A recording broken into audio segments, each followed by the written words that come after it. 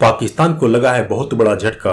पाकिस्तान की aviation company PIA, यानी Pakistan international airlines, जिस पर यूरोप ने पाबंदी लगा रखी थी।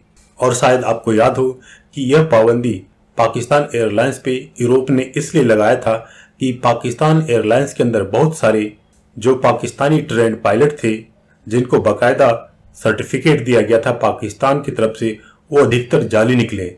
इसके साथ ही साथ पाकिस्तान एयरलाइंस के सेफ्टी इश्यूज़ भी थे और यह मामला बड़े जोरों शोरों से इंटरनेशनल लेवल पे उठा था, जिससे पाकिस्तान की काफ़ी फजीहत हुई थी।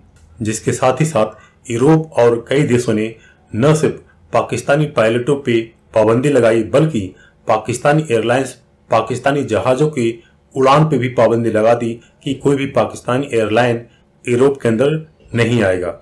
इस घटना को लगभग एक साल हो चुके हैं और इस एक साल दौरान पाकिस्तान ने खूब एड़ी चोटी की ज़ोर लगा ली, बहुत सारी मिन्नतें कर ली और अंदर ही अंदर सेटिंग करने की भी कोशिश की। लेकिन अब फाइनली फिर से यूरोपियन सेफ्टी एजेंसी का मैसेज आ गया है और उन्होंने बकायदा लिखित में कहा है, पाकिस्तान को कि हम पाकिस्तान एयरलाइंस पे पाबंदी नहीं हटाएँगे और कोई भी पाकिस्तानी ट्रेंड पायलट को यूरोपियन एयरलाइंस में नौकरी नहीं दी जाएगी। तो यह पाकिस्तान के लिए बहुत बड़ा झटका है। तो फ्रेंड्स मिलते हैं एक नई वीडियो के साथ। Till then thank you bye bye Jai Hind Jai Bharat